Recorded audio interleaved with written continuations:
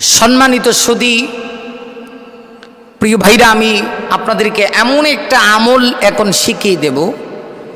কেউ যদি এই আমলটি করতে পারেন, আপনার উপরে যদি পাহাড় স্বরূপ সমপরিমাণ কর্জা থাকে, ঋণ থাকে, যে এত পরিমাণ আপনি ঋণে ঋণগ্রস্ত হয়ে গেছেন, যে কেমনে এই ঋণ আদায় করবেন? আমাদের সমাজে অনেক ভাইরা আছেন, দেখা যায় আমরা যখন বাড়ি বানাই, তখন আমরা ঋণী হয়ে যাই। আমার উপরে কর্জ থাকে, অনেক লোক কর্জা পায়।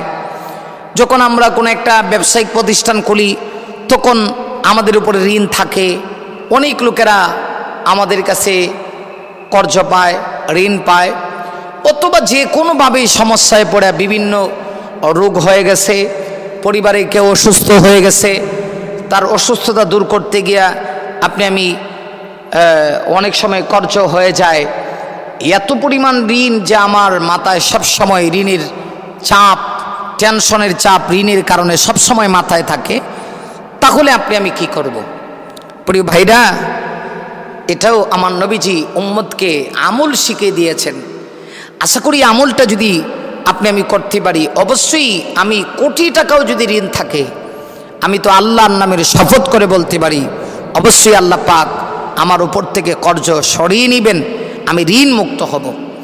এই আমলটি বিশ্বনবীজি সাহাবি হাজরত আলী রদি আল্লাহ তালানহু বলেছেন যে আমি নবীজির কাছ থেকে আমার নিজের কানে শুনেছি। হজরত আলী রদি আল্লাহ তালানহু বলেন যে আল্লাহ নবী বলেছেন, কেউ যদি আমার উম্মতির ভিতর থেকে এই দোয়াটা বেশি থেকে বেশি করে পড়তে পারে আল্লাহুম্মাগফিনি বিহালালিকা আন হারামিক وأغنني بفضلك عمن سواك আমি আবারও বলছি হজরত আলী বলেন নবীজি বলেছেন আমি নিজের কানে শুনেছি কেউ যদি এই দোয়াটা পড়তে পারে আল্লাহ হুম্মাক ফিনি বিহালালিকা আন হারামিক ও আগনিনি বিফাদলিকা আম্মান এই দোয়াটা যদি কেউ পড়তে পারে হজরত আলী রাদি আল্লাহ বলেন যে, সে যত টাকাই তার উপরে ঋণ থাকুক না কেন, কর্জ থাকুক না কেন, এই দোয়া পড়লেই, অল্প দিন আমল করলেই আল্লাহ পাক তার উপর থেকে কর্জ সরিয়ে নেবেন। সে ঋণ মুক্ত হবে, আল্লাহ রাব্বুল আলমিন তাকে অবশ্যই ঋণ মুক্ত করবেন। এরপরে দেখেন আমরা অনেক সময় অনেকের পেটে অসুস্থতা হয়ে যায়। এই যে এখান থেকে নিয়ে নাবি পর্যন্ত অনেক রোগ জীবাণু হয়, অনেক অসুস্থতা হয়। যেমন কিডনি নষ্ট হয়ে যায়, কিডনির বাল্ব নষ্ট হয়ে যায় তারপরে পিতৃতলিতে অনেকের পাথর হয়ে যায়। তো অনেকের হতেই পারে, অসুস্থতাও আল্লাহর একটা নিয়ামত, সুস্থতাও আল্লাহর একটা নিয়ামত। তো এই সময় আপনার আমার কি করা দরকার? তখন আপনি আমি অধৈর্য হলে চলবে না, সফর করতে হবে। আল্লাহর রসুল বলেছেন যে, কাহারও দুইটা প্রিয় জিনিস যদি নষ্ট হয়ে যায়, সে যদি সবর করে, তাহলে তার জন্যে আল্লাহ তৈরি জান্নাত আল্লাহ পাক রেডি করে রাখছেন। হাবি বাতাইহি প্রিয় দুই জিনিস নষ্ট হয়ে গেছে। যেমন মনে করেন যে চোখ নষ্ট হয়ে গেছে। চোখ একটা আল্লাহ নিয়ামত। ঠিক কিনা? অনেক সময় ডায়াবেটিক্স বেশি হওয়ার কারণে অনেক মানুষের চোখের পাওয়ার কমে যায়। তো চোখ যদি কাহারও নষ্ট হয়ে যায়, সে তো দিনের আলো দেখতে পারবে না, রাতের অন্ধকার দেখতে পারবে না। যে ব্যক্তি দিনের আলো দেখতে পারল না, রাতের অন্ধকার দেখতে পারল না, তো বোঝেন তো দেখি তার কি আর দুনিয়াতে থাকা, বাঁচা, মরা আমার মনে হয় সমান। যার চোখ নাই, সে বুঝতে পারে যে চোখের কত দাম, চোখের কত ইজ্জত। তো রসুল বলেন হাবি বাতাই হি কারও প্রিয় দুইটা জিনিস যদি নষ্ট হয়ে যায়। কিডনি নষ্ট হয়ে গেছে, আপনার চোখ নষ্ট হয়ে গেছে, টেনশন নাই। নবীজি বলেছেন ফাঁসা বাবা তুমি যদি সবর করো, তাহলে আল্লাহর রসুল বলেছেন, তার জন্য জান্নাত ওয়াজিব। দাখালাল জান্না ওই লোকটা জান্নাতের ভিতরে প্রবেশ করবে। এই ব্যাপারে একটা হাদিস আপনাদেরকে শোনাতে চাই। নবী করিম সাল্লাহ আলিহি ওয়াসাল্লামের জামানায় দুইজন সাহাবি, একজন সাহাবির নাম ছিল আতা ইবনে বারাহ, আরেকজন সাহাবি সুপ্রসিদ্ধ আবদুল্লাহ ইবনে আব্বাস, রঈসুল মুফাসরিন হিসাবে আমরা যাকে চিনি। এই দুইজন সাহাবি রসুল করিম সাল্লাহ আলিকি ওয়াসাল্লামের জামানায় একে অপরের সঙ্গে কথা বলতেছেন। কথা চলতেছে, আলোচনা চলতেছে। ঠিক সেই সময়ে মাঝ বয়সী হাফসি দেশের একজন মহিলা আসতেছে।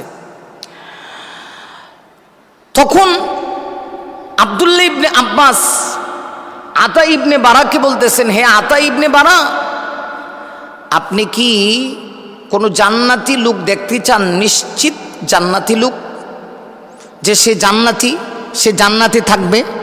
এমন কোন লোক কি আপনি দেখতে চান? আবদুল্লাহ ইবনে আব্বাস যখন আতা ইবনে বারাকে এই কথা বলেছেন, হাদিসে আসছে, আতা ইবনে বারা আশ্চর্য হয়ে বলছিলেন, আপনি কেমনি জানেন যে সে জান্নাতি? আমি নবী করিম সাল্লাহামের পাক জবান থেকে আমি শুনেছি। কই কেমনে? কই যে একটা মাঝ বয়সী মহিলা আসতেছে, একদিন আমি নবী করিম সাল্লাহামের কাছে বসা ছিলাম। এই মাঝ বয়সী মহিলাটা মহিলাটা খুব কালো ছিল, হাফসি দেশের মানুষ তো চেহারা কন্ডিশন ভালো ছিল না। সাহাবি বলতেছিলেন যে একদম জীর্ণ শীর্ণ এই মহিলা এসে আল্লাহ রসুলের কাছে বলল, ইয়া রসুল আল্লাহ আমি একটা রোগে আক্রান্ত, মিরকি রোগে। এটাকে খেসুনি রোগ বলা হয়। অনেক সময় দেখবেন কাহারও যদি উঠে যায় শরীর, শরীরের মধ্যে কম্পন সৃষ্টি হয়, তখন আমরা দেখেছি জুতার গ্রান তার নাকের মধ্যে শুকানো লাগে, তখন সে সুস্থ হয়। এসে বলতেছি আর রসোল্লাহ আপনি যদি আমার জন্য একটু দোয়া করে দেন, আল্লাহ পাক যেন আমাকে এই রোগটা থেকে মুক্তি দান করে। কারণ এটার কারণে আমার পরিবারের লোকদের কাছে আমি অনেক সময় অসম্মানিত হই। আমার আত্মীয় স্বজনরা আমাকে দেখতে পারে না, কেউ আমাকে দেখতে পারে না সমাজে সবাই আমাকে অসম্মানিত করে। তো আল্লাহ রসুল তখন বলেন যে এই ব্যাপারে তোমার দুইটা পথ আছে। এক নম্বর ও ইনশিতে সাবারতে, ওয়ালাকে তোমার জন্যে তুমি যদি সবর করো এবং সবর করে যদি দুনিয়াতে কষ্ট করে জীবন যাপন করতে পারো, ওয়ালাকে জান্না তোমার জন্যে আল্লাহ পাক জান্নাতের ব্যবস্থা করে রাখছেন, তুমি যদি সবর এখতিয়ার করতে পারো। তার মানে এই না যে আপনি অসুস্থ হয়ে গেছেন, আপনি ডাক্তার দেখাবেন না। হ্যাঁ দেখাবেন। অসুস্থ হয়ে গেলে আপনি অবশ্যই ডাক্তার দেখাবেন। দাওয়া করবেন। এটা নবী আলী সালাতামের সুন্না আল্লাহর রসুল কিন্তু এই কথা বলেননি যে আপনি অসুস্থ হয়ে গেছেন। তখন দাওয়া ব্যবহার করবেন না, ওষুধ ব্যবহার করবেন না। এই কথা কিন্তু আল্লাহ রসুল বলেন নাই। নবীজি বলেছেন ও ইনসি ইতে সাবারতে ওয়ালাকেলি জান্নাতুন। আবারও বলছি আল্লাহ রসুল বলেছেন ও ইনসি ইতে সাবারতে ওয়ালাকে লি জান্নাতুন তুমি যদি কষ্ট করে সবর করতেই পারো, এই মিরিকি ব্যানাম তোমার উঠে যায় কেশুনি উঠে যায়। অ তুমি কষ্ট করে দুনিয়াতে যদি জীবন যাপন করতে পারো, তাহলে তোমার জন্য জান্নাতের সুসংবাদ। তুমি জান্নাতে চলে যাবে। আর আরেকটা হচ্ছে না, যে তুমি সবর করতে পারো না, তাহলে আমি তোমার জন্য অবশ্যই দোয়া করে দেব। আল্লাহ পাক তোমার এই রোগ সরিয়ে দিবে। মহিলাটা কিছুক্ষণ চুপ থাকল, চুপ থেকে ওই হাফসি মাঝ বয়সী মহিলাটা বলল, ইয়া রসুল্লাহ আমি সবর করব দুনিয়াতে। কারণ দুনিয়া কয় দিনের আমি জান্নাত চাই। নবী বললেন তাহলে শুনো, তোমার জন্য জান্নাতের সুসংবাদ। তখন সেই মহিলাটি বলেছিল, ইয়া রসুল্লাহ ইয়া হাবিব আল্লাহ আপনি একটু আমার জন্য মেহরবানি করে, আপনি একটু দোয়া করে দিন। আল্লাপাক যেন এই মিরকি রূপটা যখন আমার উঠে যায়, তখন আমার গায়ে কাপড় পর্যন্ত থাকে না। আল্লাপাক যেন তার কুদরতিভাবে আমার লজ্জাস্থান ডেকে রাখে। আমি দুনিয়ার জিন্দিগিতে কষ্ট করে হলেও আমি সবর করব, যাতে আমি জান্নাত পাই। তখন সে আবদুল্লাহ ইবনে আব্বাস বলেছিলেন, ওই মহিলাটা বলেছিল ইয়ারসোল্লাহ আমি সারা জীবন সবর করব, আমি নিজের কানে শুনেছি, নিজে দেখেছি। এই বলছি, এই মহিলাটা জান্নাতি। আমার ভাইরা সম্মানিত সুদী, যারা আমাদেরকে দেশ বিদেশ থেকে দেখছেন, বিশেষ করে মা বোনেরা যারা আমাদের কথাগুলি শোনেন, আমরা তাদেরকে উদ্দেশ্য করে বলতে চাই, অনেকে আমাকে প্রশ্ন করেন, তাহিরপুর হুজুর আমরা এই বিপদে আছি, ওই বিপদে আছি, আমরা অসুস্থতার মধ্যে আছি, আমরা কি করব? অসুস্থতা আল্লাহ নিয়ামত, সুস্থতা আল্লাহ নিয়ামত। সাবধান, অসুস্থ হয়ে গেলে রাগ করে আল্লাহকে গালি দিবেন না। অনেক সময় দেখবেন যে অসুস্থ হয়ে গেলে আমরা কিন্তু রাগ করে ফেলি। রাগ করে আমরা আল্লাহকে পর্যন্ত দোষারোপ করি? এটা মোটেও সমীচীন নয়। অসুস্থতা আল্লাহ আপনাকে দেয়। এই অসুস্থতার উপরে যদি আপনার মরণও হয়ে যায়, তাহলে নবীজির হাদিস আপনি যদি ধৈর্য ধারণ করতে পারেন। অসুস্থতা আল্লাহ তাকে দেয়, যাকে আল্লাহ তার গোনা মাফ করাতে চায়।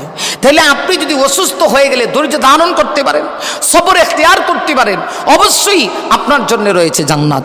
আল্লাহ পাক এই আমলটা যেন আমাদেরকে বেশি থেকে বেশি করে করার তৌফিক দান করেন, আমিন।